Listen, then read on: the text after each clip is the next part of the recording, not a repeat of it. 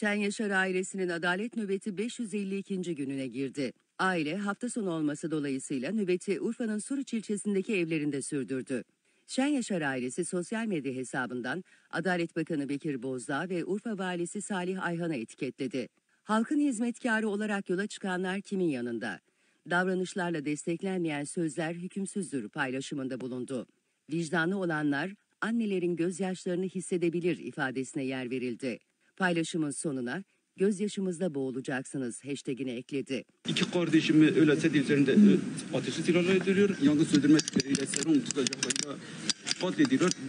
Yaralı olarak bizi sevk etmek için iki ambulansa bindiriyorlar. Parke taşlarıyla camları kırılmış, tekerleklerine kurşun sıkılmış. 14 Haziran 2018 tarihinde AKP milletvekili İbrahim Halil Yıldız'ın koruma ve yakınları tarafından Şen Yaşar ailesine ait iş yeri ve sonrasında hastaneye yapılan saldırılarda Şen Yaşar ailesinden 3 kişi hayatını kaybetmişti.